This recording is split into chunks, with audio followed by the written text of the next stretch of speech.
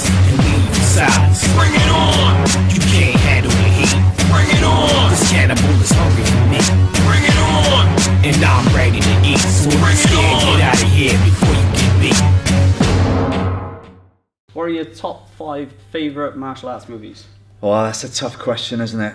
But um, here we go. Number one, Enter the Dragon, because It's a given. uh, it's, it's Bruce Lee, and the big you could argue that maybe some of his other films are better than Enter the Dragon, but I love Enter the Dragon. The way Bruce Lee's in that, he's so mean and scary.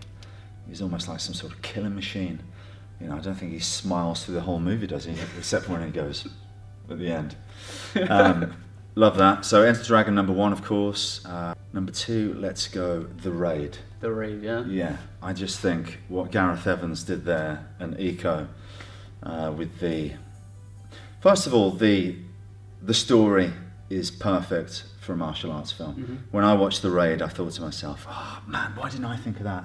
It's Die Hard in a building, but they have to get rid of the weapons and then it's all fights. So I thought the the concept was brilliant first of all, and the fights are so long and so well choreographed, so well shot. yeah.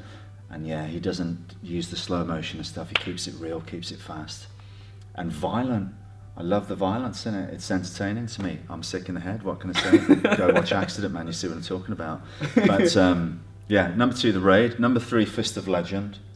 Uh, Jet Li um, in his best fighting film, in Yeah, my opinion I agree. fights choreographed by Yuen Woo-ping, the master, the best fight choreographer in my opinion. The way he shoots the, the fights, the angles he chooses, the way he makes hits uh, work from angles that really they shouldn't. And um, Jet Li's phenomenal in that film, that end fight uh, is, is incredible. Number four, Bloodsport, because as a 12 year old boy watching Van Damme for the first time, the impact that that film had on me was incredible. That was a full-on, full-blooded martial arts film, very inspirational.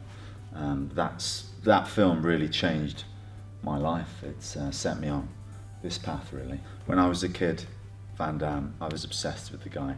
It was uh, he, he's the reason I do what I do. So Bloodsport, absolutely.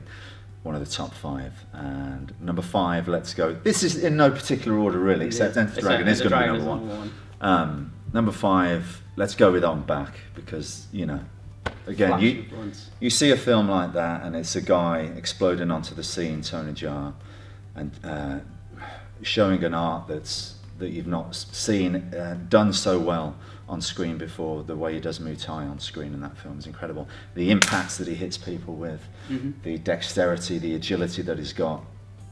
What I love about Jaa is that he'll do some crazy spinning, crazy technique, but he'll always land it with full force on someone. And that's when you buy it. You're not buying anything. Oh, he's doing a crazy flip. He's doing a crazy flip, and a lot of other guys might miss. the. And the stunt guy does a massive move, stacked but. Tony Jaa will land it on your neck, and you're like, "Yep, that's gonna hurt." so yeah, there you go. Top five, difficult one, but Good five. that's Make what sure I'm going with. That's what I'm going with. I've probably missed some out or made a mistake, but that's what I'm going with. Cool.